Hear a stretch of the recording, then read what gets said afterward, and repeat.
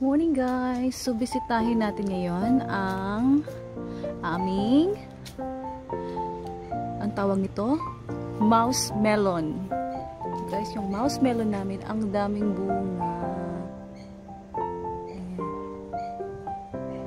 Ayan. See guys. Masarap to guys. Ito daw ay um, tawag nito. Na-search ko kasi siya. Nagsimula daw to sa ano sa Mexico at saka sa Amerika. Ayan guys. Daming bunga diba? Mamaya mag-harvest din ako. Super dami. It's ready to pick na siya. Ganito, ganito lang siya kalaki guys. Sarap to siya sa salad. Ganun siya, ang dami. Nag-ano na pala siya, oh.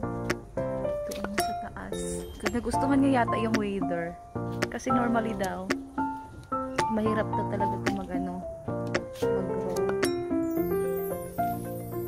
Meron pa ako dito. Gilid. Ayan, dumarami na siya, guys. Sarap to.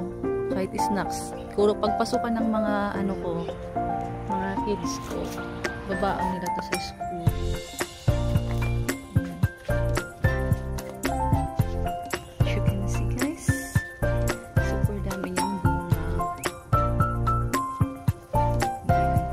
Hindi ko makuha-kuha kasi nandito sila sa ano, sa taas. Ayan. Ipapakita ko sa inyo next kung paano siya uh, gawing salad. Or, pwede siyang gawing pickled. Pang snacks, di guys? Yan guys. Thanks for watching. Bye!